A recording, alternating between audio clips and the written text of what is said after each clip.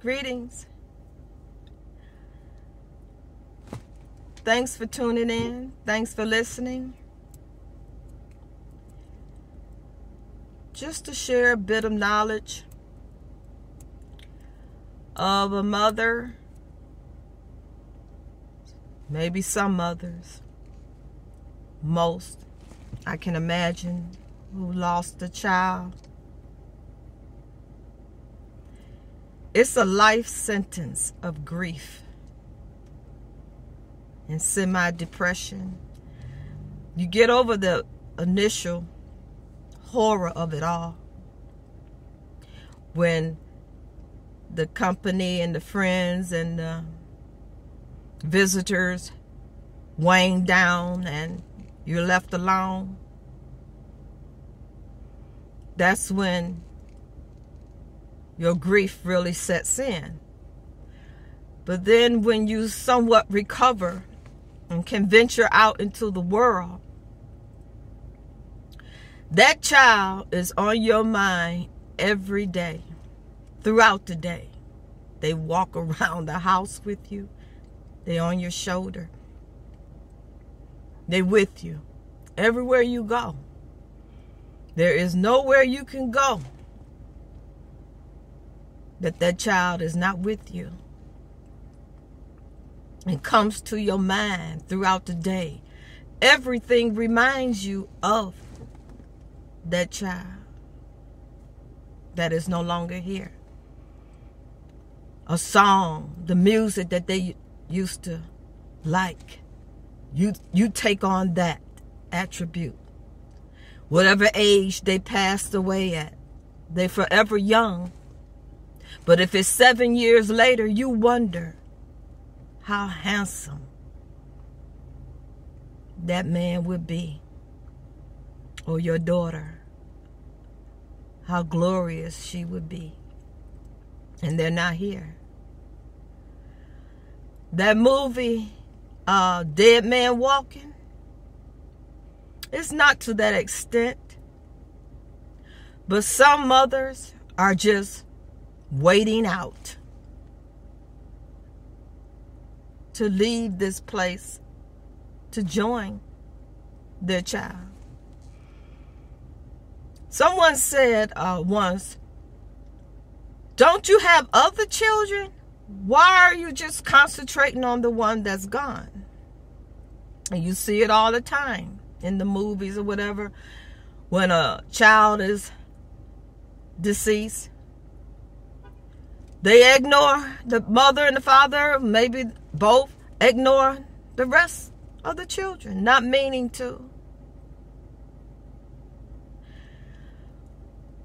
But someone gave this analogy. You may have all your teeth, but when one of them hurt, that's where that tongue is going to go. It's going to focus on where the emptiness is, where the pain is. It's just human nature. You get it gets better. You get better. But trust me. They are forever walking with you. When you see that person, you could just about believe and trust that child is on their mind. They just got through thinking about them or they're on their way to thinking about them again. They never leave you. I just wanted to share that. You may see them smiling and laughing and giggling and having fun and you think they overcame. You think that they good and they're not suffering anymore. Not so. It will always be that way for some. Always and forever until you go and meet that child. Peace, if you can find it. It's a horrible thing to lose a child. And I think about Tamir Rice's mother. They wouldn't even allow her to go and kneel down next to her son as he was dying alone.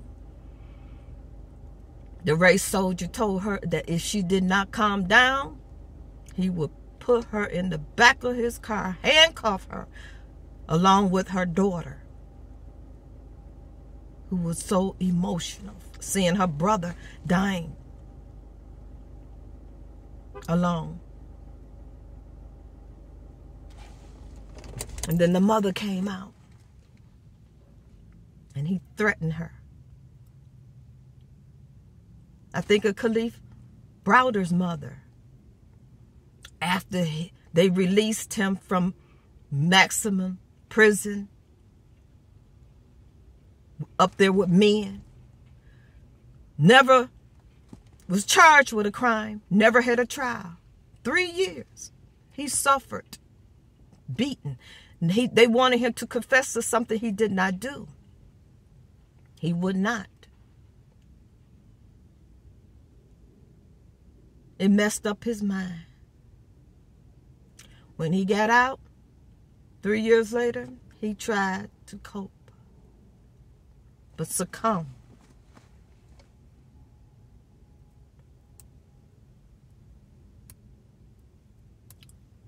And his mother followed him from grief. That happens. The grief can be so bad, it will stop your heart. And some have to get a defibrillator to keep the heart going. When you only wanted to be with that child, but you stayed for the sake of other children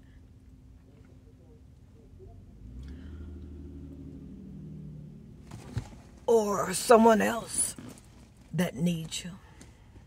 But dead man walking, you just waiting out your sentence so that pain can forever be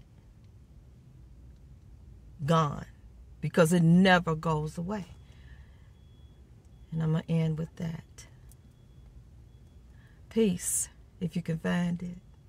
Thanks for listening. Peace.